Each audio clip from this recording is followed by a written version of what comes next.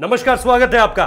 सबसे पहले नाग मिसाइल का यह टेस्ट देखिए, जो कि एंटी टैंक गाइडेड मिसाइल है, और इसकी तस्वीरों के बाद किस तरह से हड़कंप मच गया है सोशल मीडिया पर, खास तौर पर इस बात को लेकर कि चीन जो अपने टैंक एलएसी के पास तैनात कर रहा था, उनकी अब किसी तरह की कोई महत्वता बची ही नहीं है। सबसे पहले ये तस्वीरें देखिए, जो राजस्थान के पोखरन से आई हैं, जहाँ पर डीआरडीओ की बनाई हुई इंडिजीनियस मिसाइल नाग का टेस्ट हुआ है और सफल परीक्षण हुआ है। तस्वीरें।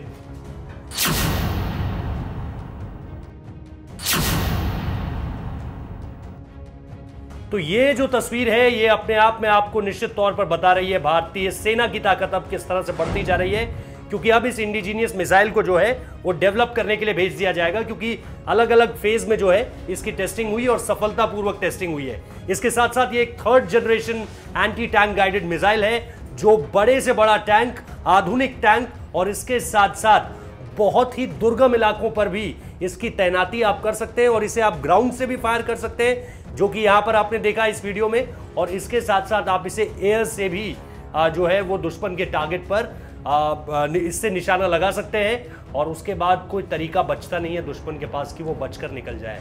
दरअसल इस नाग मिसाइल की चर्चा बहुत पहले से हो रही थी। आपको पता है कि जुलाई में जो ध्रुवास्त्र मिसाइल थी, जो कि अगेन टैंक पर निशाना लगाने के लिए बहुत काम आती है। वो डीआरडीओ ने डेवलप की थी और उसके बाद इंतज़ार इस थर्ड जनरेशन मिसाइल का था कि इसका सफल टेस्ट जो है, वो कब होगा। आपको याद है कि बीते एक महीने में डीआरडीओ ने लगभग इतनी मिसाइलों का टेस्ट कर दिया है कि या तो एलएसी में चीन हो या एलओसी में पाकिस्तान, हालत सबकी खराब है। हालत कैसे खराब है? क्योंकि लगातार अगर आप इन मिसाइलों को देखें, ये तस्वीर मैं आप लोगों के सामने रख रहा हूँ और ये तस्वीर आपको बताएगी कि कितने हमने टेस्ट कर लिए हैं।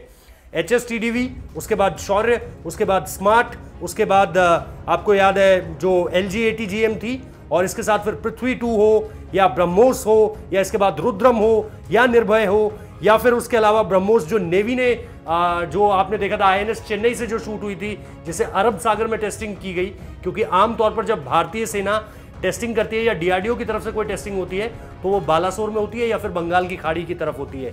ये इन सब टेस्टिंग में ऐसा पहला था, जो कि आपने अरब सागर की तरफ़ देखा। इसके बाद सैंट मिसाइल का टेस्ट हुआ और फिर अब नाग मिसाइल का टेस्ट हुआ है।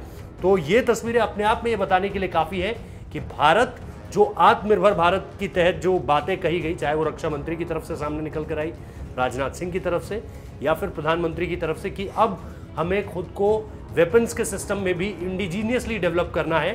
तो उस मामले में कम से कम जहाँ तक मिसाइल्स की बात हो, भारत उस रास्ते पर आगे बढ़ रहा है।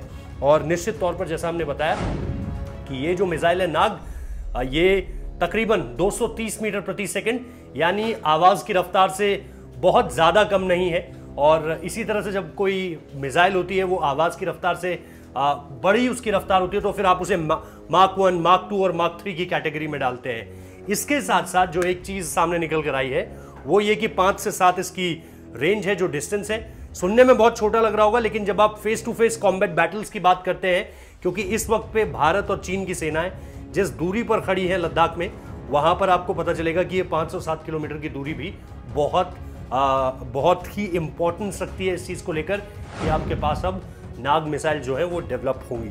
तो फ़िलहाल इस वीडियो में इतना ही लेकिन जाते जाते फिर ये तस्वीर देखिए। जिसकी सफल टेस्टिंग आज हो चुकी है और ये भारत की ताकत का भी एक हिस्सा होगा। फिर चाहे वो इंडियन एयरफोर्स हो या फिर इंडियन आर्मी। बहुत बहुत शुक्रिया।